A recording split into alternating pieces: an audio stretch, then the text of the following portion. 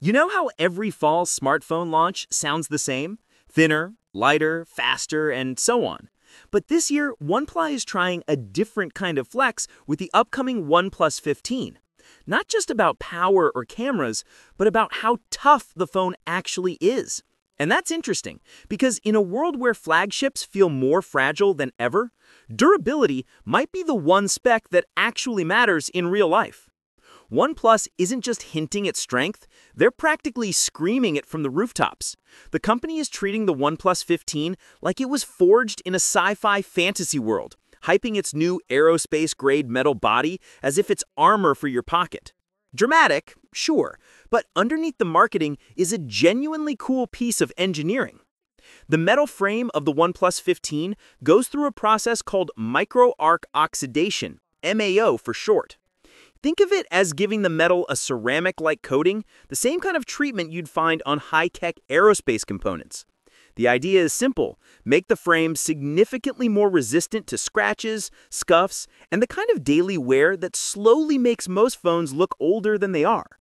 Keys, coins, and rough tabletops, the things that usually leave tiny marks on your phone, are far less likely to leave a trace here. Now, let's be clear. MAO isn't magic. It's not going to suddenly make the OnePlus 15 indestructible, and it's not a replacement for the titanium frames or ultra-tough glass we see on top-tier iPhones and Galaxy Ultras. What it does do is improve scratch resistance and durability while keeping the phone light. And that could be a sweet spot for users who don't want a heavy brick in their pocket just for the sake of toughness. It also opens up new possibilities for design.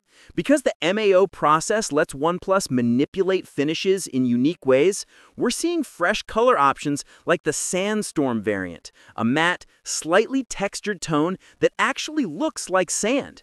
It's a subtle detail, but it shows how OnePlus is thinking beyond the usual glossy slabs and mirror finishes we've seen for years.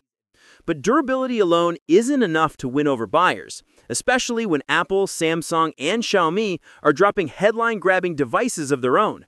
So what else is OnePlus packing into the 15? For starters, there's a complete redesign.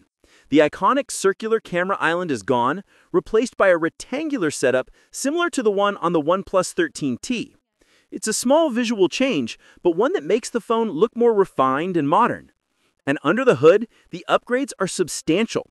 We're talking about a massive 7,000 milliamp hour battery, one of the largest in any mainstream flagship, paired with 120 watt wired and 50 watt wireless charging. That means you're not just getting longevity, you're getting speed too. Imagine fully charging your phone while you make breakfast. The display is expected to shrink ever so slightly to 6.78 inches with a 1.5K resolution and an ultra-smooth 165Hz refresh rate. It's a minor drop in pixel density from the OnePlus 13, but that trade-off for fluidity will likely be worth it for gamers and heavy scrollers alike. OnePlus is also shaking things up with its signature alert slider. Rumor has it, it's being replaced by a customizable button. That's bound to divide fans. The slider has been a defining feature since the early days, but customization could make it far more useful. Still, there's something undeniably satisfying about that little tactile flick and many longtime users will miss it.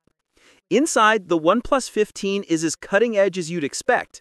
Snapdragon 8 Gen 5, at least 12 gigabytes of RAM, and a revamped camera setup with a new 50 megapixel telephoto lens.